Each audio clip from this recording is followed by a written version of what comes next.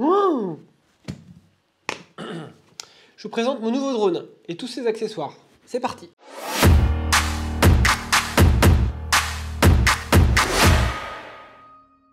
Alors pour la petite histoire, j'ai démarré le drone en juin dernier. J'ai racheté un drone à JC qui est DJ sur la boule et euh, j'ai été à Tarifa avec, j'ai fait mon premier vol là-bas, j'en avais besoin pour euh, un projet et j'ai volé un peu timide au début et puis il y a eu ce trip à Fuerte.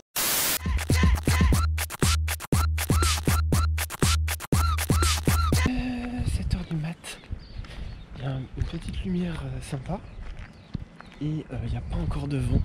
Je vais pouvoir faire voler le drone. Fuerteventura aux Canaries avec beaucoup de vent fort où j'ai pris confiance un peu, j'ai volé dans du vent de terre au-dessus de la mer avec des difficultés même à le ramener parfois. Bref, j'ai joué un peu avec le feu mais ça s'est bien passé. Et puis, je suis rentré à la boule, il y a eu quelques vols, j'ai volé au-dessus de copains en kite, en planche et en windfoil. Euh, et puis, il y a eu cette session fatale avec Volodia, un copain qui était en windfoil, 8 mètres carrés, petit vent, relativement soutenu mais pas non plus trop fort. La mer était belle, il y avait du soleil. J'ai voulu me rapprocher, j'ai pris confiance, j'ai filmé plus en plus près, les images étaient belles. Et là, bref, j'ai cogné sa voile. Heureusement, personne n'a été blessé, mais j'ai cogné la voile et le drone est tombé dans l'eau. J'ai été tenter une mission rescue, j'ai plongé dans la baie deux fois de suite, une matinée entière. Bon, euh, session gratte caillou, c'est un échec. Visibilité euh, pas top, le vent est monté, pas mal de courant mais je l'ai pas trouvé. J'ai ratissé un carré de, de 50 mètres par 50 mètres et je l'ai pas retrouvé. Bref, trois semaines de digestion ont passé et j'ai décidé de racheter un drone. Alors j'ai pris le Mavic Pro 2 sur les conseils de confrères, copains et connaissances qui utilisent ce drone.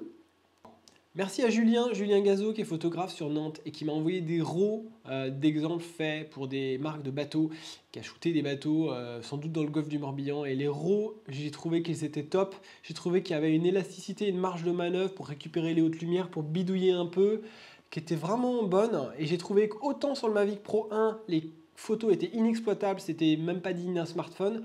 Autant sur le Mavic Pro 2, on a de vraies photos parfaitement utilisables. C'est pas au niveau d'un réflexe, mais ça reste quand même très très honnête, surtout dans des bonnes conditions de lumière. Euh, et donc du coup, ça m'a décidé, j'ai craqué.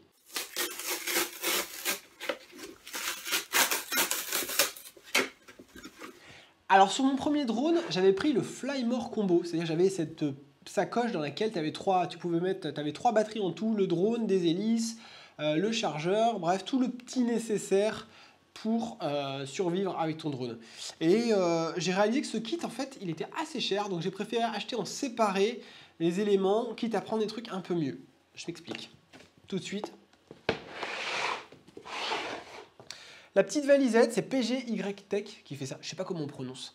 En tout cas, tout est découpé, prêt à mettre dedans. Ce qui est cool, c'est que ton drone, n'es pas obligé de mettre la protection nacelle en plastique qui est toujours galère à mettre, qui te prend du temps à mettre et qui te prend du temps à enlever.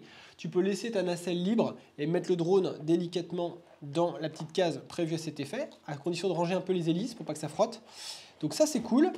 Emplacement de batteries, sachant que tu laisses la troisième sur le drone, vachement bien. J'ai ma télécommande que je peux mettre maintenant en laissant les sticks, parce que tu sais que sur le Mavic 2, l'évolution c'est que tu peux retirer les petits sticks et les planquer en dessous. Comme ça, tu as une manette plus plate. Simplement, là, tu n'en as rien à faire parce que tu peux ranger la manette. Il y a des découpes prévues pour les sticks. Donc, c'est parfait. J'ai un petit câble USB coudé parce que, je sais pas si vous savez, mais en fait, il y a beaucoup de retours de déconnexion entre euh, la télécommande et le smartphone lorsqu'on utilise le petit câble qui est fourni en standard avec la manette du drone, ce petit câble euh, qui est un câble Lightning vers micro USB. Et donc du coup, moi, on m'a conseillé fortement d'acheter un câble et de me plugger sur le port USB qui est ici et à mon smartphone. Et ça m'autorise plus de marge de manœuvre, ça me permet même de mettre mon smartphone tout en laissant la coque qui est très épaisse. Je fais beaucoup tomber mon téléphone par terre. Du coup, avec ce câble, je peux laisser la coque autour. Je perds moins de temps concrètement quand j'ai besoin de décoller et faire des plans aériens. Autre petit truc, les hélices, j'ai acheté deux packs de deux hélices. Alors il y a un détrompeur, il y a toujours une hélice qui va sur un des moteurs et l'autre hélice avec le petit rond blanc autour qui va sur l'autre moteur. Donc tu ne peux pas acheter quatre hélices du même type. Dans une paire d'hélices, tu as deux hélices différentes. Donc il faut deux paires d'hélices pour remplacer les quatre hélices d'un drone en gros. Euh, voilà, ça peut arriver que ça casse, que ce soit fissuré, il faut surtout pas voler avec des hélices qui sont un peu endommagées. Donc hélice de rechange et, très important, les filtres. Alors moi j'ai pris les filtres de marque Polar Pro, c'est un peu bateau mais c'est la marque que tout le monde achète. Ça fonctionne super bien. Le système de filtre sur le Mavic 2 est mieux que sur le Mavic 1, c'est-à-dire que ça se clipse d'un petit, même pas un quart de tour. Et du coup, ton drone prend pas de poids. J'ai réétalonné quand même le drone en mettant les filtres par rapport à la, à la, au verre avant de base. Mais euh, on va dire que le système est plus élaboré, je trouve. Alors, moi, compte tenu de mon expérience en photo et mon, usage des filtres ND en photo, eh bien, euh, j'ai opté pour des filtres ND 8, 16 et 32. Et dans ce pack, qui coûte un peu plus de 100 balles, euh, il y a euh, des filtres ND 8, 16 et 32 et des filtres ND polarisants 8, 16 et 32. Donc les équivalents des filtres ND simples en version polarisante. C'est sympa quand il y a des reflets sur l'eau et que tu as envie de les diminuer pour récupérer la transparence de l'eau si tu es dans les Caraïbes, si tu es en Corse, si tu es en Sicile, si tu es je sais pas où, ou si tu es même à Saint-Nazaire. Quoique, euh, et euh, donc voilà, donc je vais surtout utiliser les ND16 et ND32 en plein jour et en fin d'après-midi.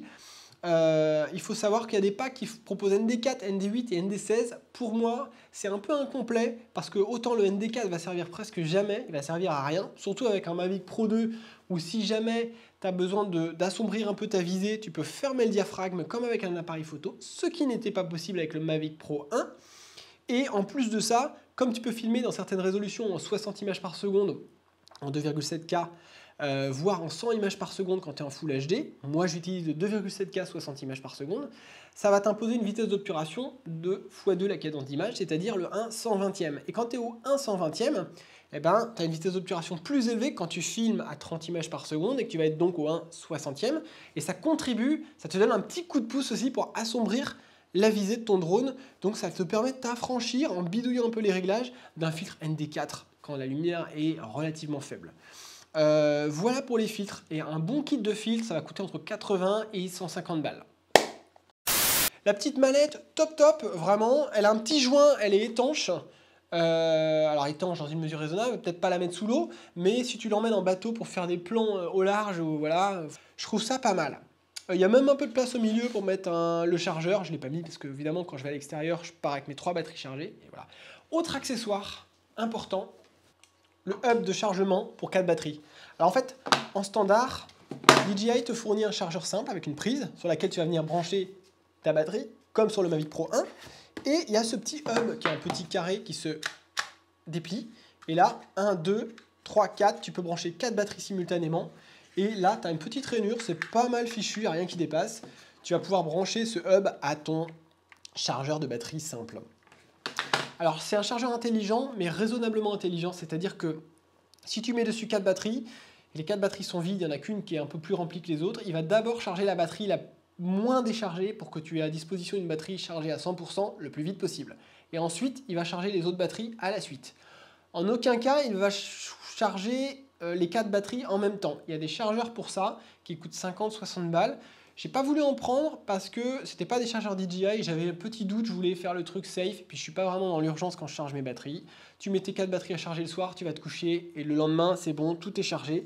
Ça me convient, j'anticipe mes chargements de batterie la veille d'une petite expédition euh, vidéo. Un autre petit point de détail, euh, ouais, quand tu fermes le truc, tu sens bien que c'est feutré, qu'il y a bien, tu sens bien l'intérêt du joint et tu peux fermer. Tac, ça se clipse bien. Tu sais bien quand elle est fermée au moins. Tu sais qu'elle va pas se réouvrir. Tu peux pas ouvrir en tirant. Faut d'abord pousser. ta petite sécu pour ensuite pouvoir ouvrir les verrous. Donc c'est pas mal, ça va pas s'ouvrir par inadvertance. Donc c'est plutôt safe, c'est de la bonne cam, ça coûte 80 balles. Franchement, ouais, c'est honnête. Tu as deux petites euh, parties en métal avec des trous qui te permettent de fixer un cadenas ou une chaîne si tu veux sécuriser le truc ou mettre ton drone dans ta bagnole quand tu vas naviguer. Bon, je sais que c'est pas top, mais euh, tu peux le laisser quelque part et le cadenasser, euh, évidemment, si c'est dans un véhicule fermé à clé. Ça limite un peu les risques. Bon, c'était tout pour cette petite présentation. N'hésitez pas à vous abonner à la chaîne et à liker cette petite vidéo, ça peut m'aider, c'est cool. Et puis, bah moi je vous laisse avec des petites images de drone que j'ai tournées dans les marais ces jours-ci puisque je suis en rodage du Mavic 2. Et franchement, c'est un super drone. Je vais m'éclater avec si celui-là, je ne le mets pas dans l'eau. C'était Adou, à plus